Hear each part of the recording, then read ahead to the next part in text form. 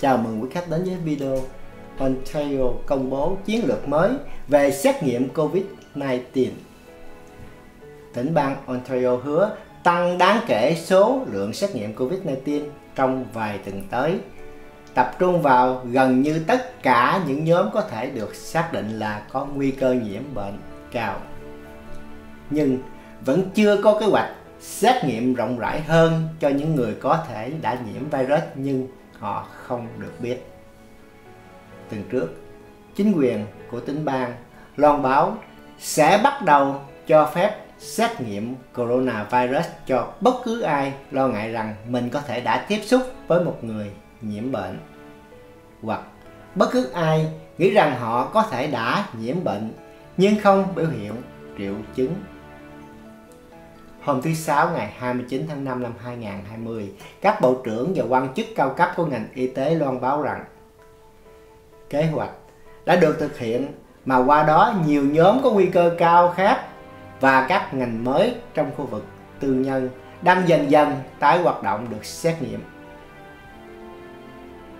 Bộ trưởng Y tế nói rằng tỉnh bang Ontario đang trong giai đoạn sau đỉnh dịch của cuộc chiến chống Covid-19. Bà cho biết rằng một phần công suất xét nghiệm vẫn sẽ được dự phòng cho các đợt bùng phát dịch bệnh mới tại các viện dưỡng lão hoặc những điểm nóng khác.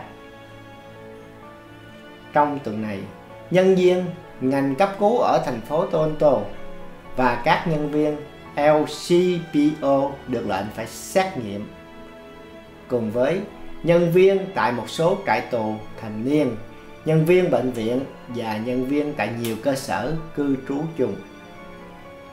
Ông Thủ Hiến phò nói, Chúng tôi đang chuẩn bị để các đội xét nghiệm lưu động sẵn sàng hoạt động và nhanh chóng được triển khai tới bất kỳ điểm nóng nào ở tỉnh bang Ontario để xử lý các đợt bùng phát bệnh dịch.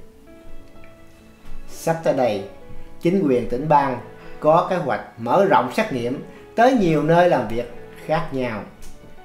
Trong giai đoạn theo dõi và xét nghiệm của cuộc chiến chống Covid-19 ở tỉnh bang Ontario.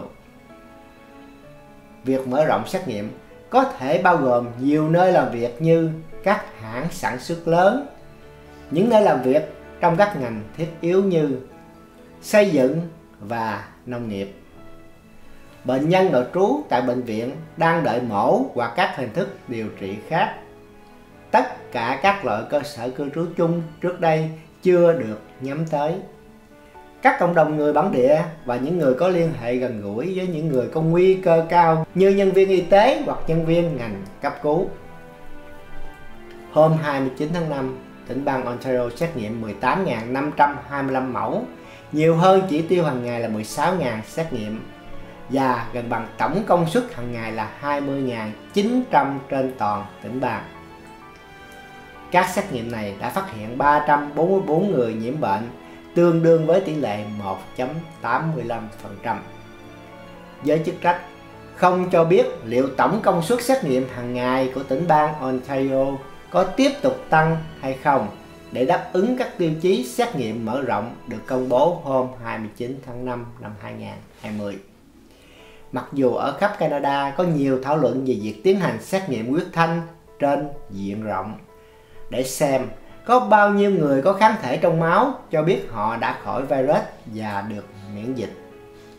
Vẫn chưa có kế hoạch chi tiết khi nào việc xét nghiệm như vậy sẽ được bắt đầu.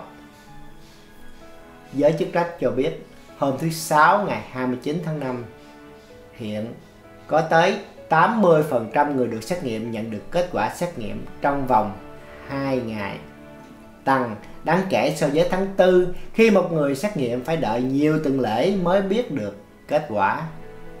Họ cho biết tỉnh bang Ontario dẫn xếp thứ ba ở Canada về lượng xét nghiệm bình quân trên đầu người sau tỉnh bang Quebec và tỉnh bang Alberta. Cảm ơn quý khách đã theo dõi bài viết của Khương An.